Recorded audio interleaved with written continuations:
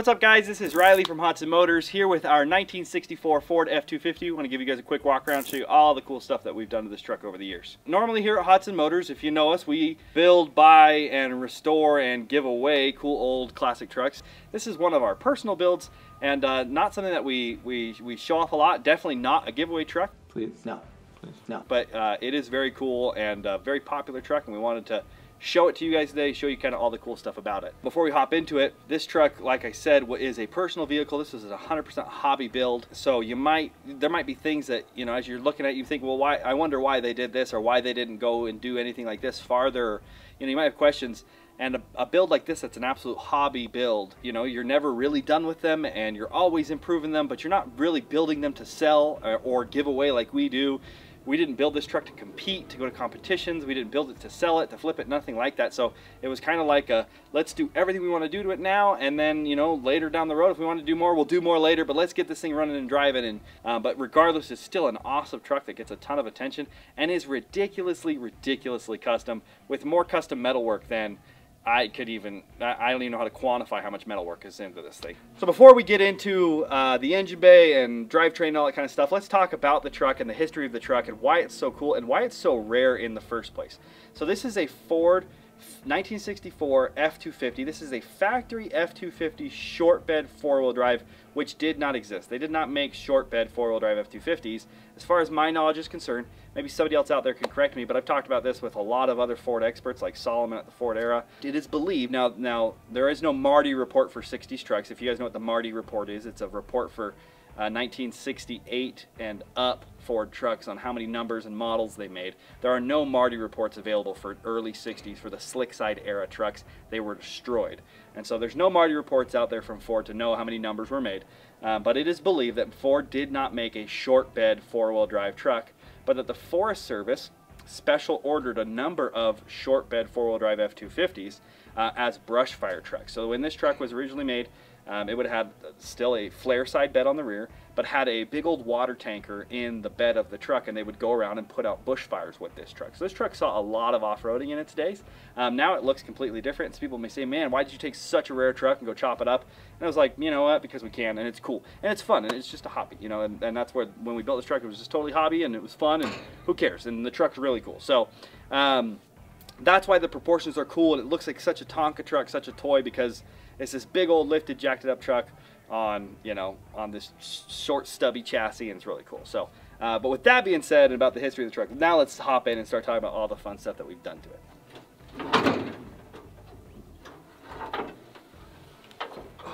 So under the hood of this big old beast is a Lincoln, so still Ford, but a Lincoln 460, like out of an early 1970s Lincoln 460. So this is a really, really, really good 460. This is pre-emissions 460. This thing is freaking rad, RV cam, 427 heads, like just a mildly built uh, 460. Uh, behind it is a C6 three-speed automatic transmission. In the engine bay here, really clean. You know, we didn't do anything crazy like tucked wires or anything like that, but the engine bay is very clean. Uh, we've got vintage air conditioning, a CVF Racing uh, pulley kit up there. Uh, you'll see some Wilwood Hydro Boost brakes, Hydro Boost kit, and then uh, powered behind that with some PSC um, power steering components to help push the big old 38 inch tires down below. Uh, but still in the hood, under the hood, very clean, very minimalistic, uh, but still is a truck and is usable. It's not a show truck or anything like that where we're, where we're scared of using it or anything like that, but very, very, very cool and very clean up under the hood. Also under the hood, uh, this 460 is powered, is fueled by a Holley Sniper fuel injection system. Uh, this is their complete fuel injection system and spark system. So this is their uh, Hyperspark um, ignition system and their distributor. I love the Holley Sniper for fuel injection on an old school motor. It, they make them run really great, and if you're familiar with tuning, you can make these things run like an absolute top. However, I will say that I don't think the Hyperspark is that great of a, of a product. I don't think it's worthwhile. I wouldn't do it again. Um, I think they're finicky and I don't think they really quite operate correctly and it's a lot of guesswork. In all reality, I think if you want to do something like this, you do a Holley Sniper for the fuel injection and then you just grab an MSD 6AL, you know, and an MSD distributor and then you just run, you know, whatever spark advance, uh, timing advance that you want off of that rather than trying to mess with the Holley stuff. It's not that great. But um, besides that, I do love Holley and they they make great products, but you know, you live and you learn and, and, and I'm here to just tell you my experience. So that's what I would suggest. In the front end, we decided to go with uh, all gloss black powder coat. So this is all gloss black trim. Uh, we found these cool Super Duty emblems that would have come off of like a heavy duty truck, an F700 truck would have had the Super Duty emblems. And I was like, you know what, let's slap those on the hood. They're freaking cool. And, and people are like, man, I didn't know they made a Super Duty. They didn't. And and for some people, this is like up badging. You know, you take a, a, like a BMW 3 Series and you put an M3 badge on it. You know, this is kind of up badging, but it's fine. Uh, but still, 64 grill is the coolest of the slick side grills. Really rad grill. And then this bumper is the factory F250 bumper, but has been widened about six inches in order to fit these bigger F600 fender flares. And then up front, this is the original Ford brush guard. These brush guards are worth their weight in gold. They're really cool. There's a group of guys on Instagram, we call ourselves the Grill Gang, you know, because when you have one of these factory brush guards, you got to keep it and they're really cool. So all powder coated black, really nice, looks great. Let's squat down and look at suspension for a minute. Now this might be one of the areas where someone might, might say, you know, why didn't you go and do Super Duty axles if we went through and all, did all this work? So up front we have a closed knuckle um, drum brake Dana 44. And, and you know what? Your answer is you're probably right. For not that much more work, we could have just swapped them. And I have a set of Dana 60s at the shop that this truck's going to SEMA this year. Um, and so I don't want to go ripping into it before it goes to SEMA. Uh, SEMA right now, from the time we're filming this video, is about in three weeks from now. So after SEMA, we're going to swap in our Dana 60s and get rid of this closed knuckle front end. But still, it's a Dana 44 in the front. You might be thinking, man, those 38 inch tires, those are gonna, that's gonna blow that axle up. And if we were off-roading this truck a lot, absolutely it would blow this axle up. Uh, and the Dana 60 will make it steer better. However, we do have one ton steering up front and powered behind the PSC to help the, to help push those big old tires around works great. And uh, the Hydro Boost brakes, even with drum brakes, the Hydro Boost makes anything stop phenomenally. It's super confidence inspiring, but it is going to be nice to have disc brakes in the future. As far as suspension goes, these are uh, 6-inch leaf springs for uh, an F250 four-wheel drive, um, but it's just leaf spring front and rear with just some regular old monotube shocks. When we do our axle swap, we'll do some nice Bilsteins just to make it ride a little bit better, but really nothing that crazy in the suspension department. Uh, but again, because this was a hobby when we built it, it's fun to just build it, finish it, drive it, enjoy it, and then say, okay, we've enjoyed it for a year or two of driving, let's take it back in and put it back under the knife. And that's kind of what we're doing now. So I'm excited to get it back into the axle swap, though. It's going to be fun you know, even though these trucks are, are ridiculously super custom, super custom trucks, they're still classics. You still tinker with them all the time. You're still fixing little things. You still have squeaks. There is no such thing as a finished classic truck. I don't care if you pay $300,000 to one of the top builders in the nation.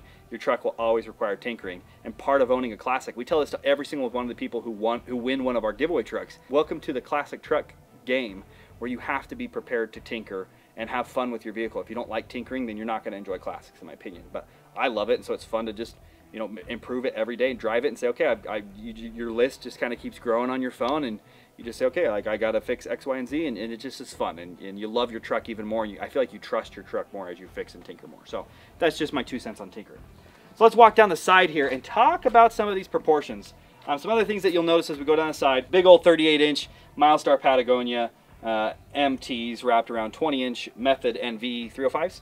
Uh, we're going to go up to a 42 inch tire. We have plenty of fender well opening in this F600 fender. Slick side trucks are probably my least favorite Ford truck of all the classic Fords. But as soon as you put these big old massive F600 fenders on them, it is so cool and it matches the body line so well. It just looks like a big old massive pre-runner fender made of steel and they're just so stinking cool and they bolt right up. So F600 fenders give you this massive opening that you can easily clear a 40 or a 42. So we're to go up to 42 so we can send out to SEMA. And uh, it'll look cooler, that's for sure. It'll increase the, the Tonka truck-esque look of it. We've got more of the, of the spearhead trim running all the way down the side, which again might be a bastardization because they didn't make this trim for flare side Fords. This was a style side option only, but it was like, hey, why not? We're having fun, let's just have some fun with it. Some really cool Ford original factory mirrors. These are the factory West Coast Junior mirrors, and they are so cool. This is a really cool three post design. They're cool, and they and I think big trucks deserve big mirrors. I hate seeing a big lifted truck with little car mirrors. It doesn't ever look right. One of the questions we always get about this truck is the paint color. It is a wicked cool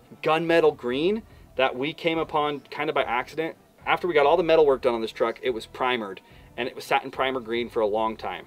For probably about a year it sat in primer green. And after we were after it was all said and done, we took it to the paint shop and we are like, man, I don't know what else to paint it besides just that color. And so, basing off the primer green, we picked a color. And uh, the the name of this color would be River Gum if you want it, and, and, and other people have used it on their trucks as well. But it's called River Gum. But it's kind of a custom milk, but custom mix. But that would be the closest color to it that you could find at a paint shop. It's river gum. But it's very cool, gunmetal green. You know, at nighttime it looks gray, but in the sun it looks green. It's really cool. So the gloss black is really, really, really rad. When we first finished the truck, we finished it in satin, and then the satin green started to look chalky and look more and more and more like primer, less and less like paint. So then we repainted the truck. Cheyenne Reuther from Nefarious Kustom, she repainted it about a year and a half ago, and then we uh, color sanded it, color corrected it, you know, did the three-step polish, and then ceramic coated it. So where this thing is just smooth like glass. It's super nice. Zero swirls in the paint, just looks phenomenal. But the color, now that it's glossy, looks absolutely insane. As we keep moving back here, we'll flip around so you can see, but there's some more really cool, really custom things. Let's talk about this roof. This is my favorite part of the truck and what makes it so unique because I have yet to see another slick side pickup truck use this roof. This is an F800 fire truck roof and the roof is about eight inches taller in the middle than a factory slick side truck. It fits the dimensions and the size of this truck perfectly. It looks so stinking cool. It's got some factory glass marker lights, cab marker lights on the top, which is just so cool that they're made of glass and original. But the roof is humongous, has a really cool piece of trim along the back um, that we did in black as well, but it is eight inches taller because a firefighter would have worn his helmet in this truck and didn't want and didn't want to take his helmet on and off to get inside his pickup truck. So they made the roof taller. It is so cool and you have so much headroom. You could be six foot eight and sit in this truck and fit perfectly fine. Um, your, your knees might hit the steering wheel, but your head would not. You would have plenty of headroom. And I think it just absolutely sets this truck off and sets it apart. You'll never see another one like it. But it is a Ford factory roof from an F800, so really cool. I will keep walking down the back here. Big old rear flare side fenders and a big old flare side bed. So we always build our beds custom for these kinds of trucks. Uh, flare side beds normally were puny. They were too short and too narrow. And so this bed is six inches wider and three inches taller than a regular flare side bed to put the bed roll right at the same width of the cab at the mirrors. So it still looks like a flare side bed. You still have a gap between the bed and the outside of the cab. You know, a style side bed would be the same width as the cab at the widest portion of the cab. This is still more narrow than that, but it's the same width of the cab at the windows. So it still looks like a flare side, but it is much bigger. This is probably the same size as a flare as a style side bed you know, and when you talk about bed dimensions on the inside dimensions. So really cool. But with that being said, you have to you have to shrink down your steps. So the flare side steps have to get shrunk down and rewelded in order to fit. And then these fenders are ginormous. Uh, these fenders are six inches longer and three inches wider and then six inches taller as well. So these big old massive fenders are made to match the F600 fenders, fenders up front.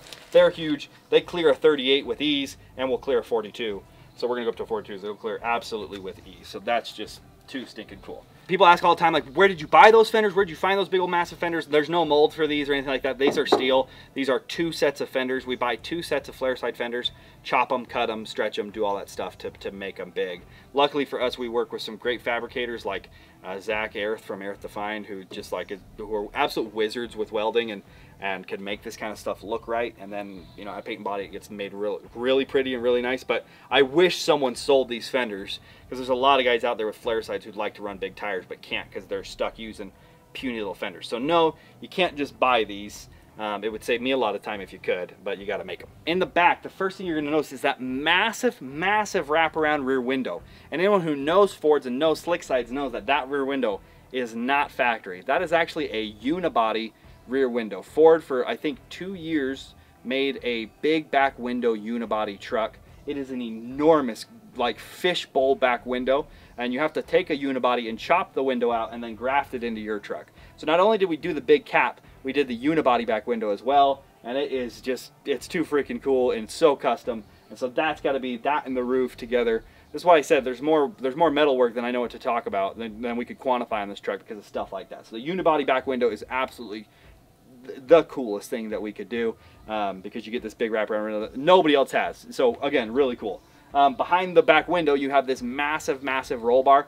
That is not made out of uh, tube. That is actually made out of four inch pipe.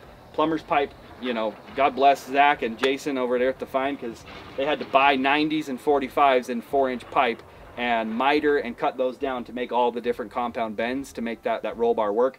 It is so heavy and so stout. If we flip this truck, it would absolutely save your life. It's so stinking heavy and so strong. So that's wicked cool. Along with the four inch roll bar, you also have the four inch rear bumper as well. So this is the same thing made out of four inch um, and then mitered and everything else along the way with some diamond plate in there as well. Uh, tailgate has also been stretched to fit, and then we always, on these flare side trucks, something my dad really loves is he loves these taillight housing protectors.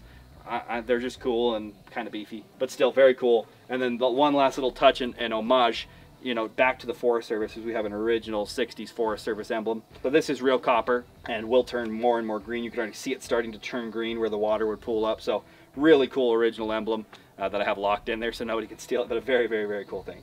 Um, so that's it for exterior. As far as exhaust goes, this thing's running Hedman headers, ceramic Hedman headers, and full stainless exhaust all the way out the back, true duals. Sounds insane, you'll hear it in a minute. Um, but let's go hop in the interior and go take a look at how great that looks as well, because I love the interior in this truck. And with any truck this size, you gotta have the AMP Research running boards. They're the best.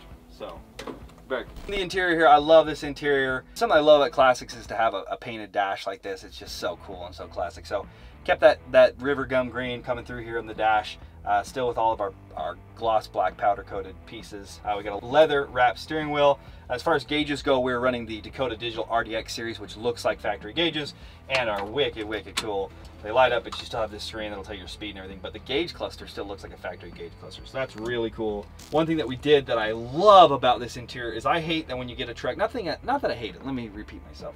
Something I don't like is once you've got a, rest, a restored truck, you know, they leave all the vent knobs and, and the cigarette lighter and all the extra accessories on the dash that you needed back in the day that you don't need anymore today. So that all got shaved and all we have is headlights, wiper switch, and our ignition switch over here on the left-hand side. So everything's over here and the rest of the dash is just perfectly, perfectly clean. Uh, under the dash down here, we've got our Vintage Air uh, AC system. We're running the Gen 2 Super system um, and it's great. Black carpet, and then our, our distressed brown leather interior. Headliner, door panels, everything, including our little door pocket zipper, little zipper cards, which are really cool. And then another one of my favorite things in here has got to be these power windows. So we get these power windows from New Relics, and they have the window switches in the doors. They still look like factory switches. And uh, I think the coolest part about the New Relic system is that they take and modify a factory scissor style window regulator to accept uh, a power motor. And so they go up and down so stinking fast. But the switches work freaking great and they're awesome. ididit steering column, Lokar shifter, and uh, Classic Industries uh, bench seat center console. It's super comfortable. This is the factory bench seat. We tried to run other seats and nothing was gonna work, just with the seating position in here, steering column position, but the factory bench seat fits perfectly and doesn't block off your big old massive rear window, so it's great. It's not in the way of the window, you get it all, and uh, and it, you just sit perfectly good, you sit nice and low, and again, I have like what feels like a foot of headroom above my head here, just a ton, a ton, a ton of room, so that's awesome as well. Um, love the upholstery, love the interior, love sitting in it, love driving in it and uh, it's just a blast. So with that being said, let's uh, crank this baby over and go take her for a test drive. You see, so you guys can see just how great she sounds and how great she drives. So I'll tell you, the truck is driving absolutely great. However, uh, I wanted to put in some some driving clips and everything, but we've got a random squeaky serpentine belt. It's a new serpentine belt, probably only a couple weeks old, but it's squeaking like a big dog, and I don't want to kill your guys' ears on this video and have to have you listen to it. So uh, just just trust me when I tell you, it drives great, accelerates great. The 460 is awesome um, and makes plenty of power. So it's a great driving truck, however, I don't want to kill your guys' ears. Uh, here, you can hear it for real quickly, but you hear that? Yeah, I don't want to do that to you guys all through this video. So, like we said, all classics have dingleberries, all, you know, they're you never ending tinkering, and we'll figure out why it's squeaking, and, and we'll fix it and keep driving it. So, but we'll go back now and just, uh, and just finish this video up. Alrighty, well, with that, you know, there's just, there's always dingleberries, and we just got squeaky belt, we'll fix it. It's not a big deal, keep driving it. Um, but with that, thanks guys, thanks for watching this video. Hope you liked the walk around.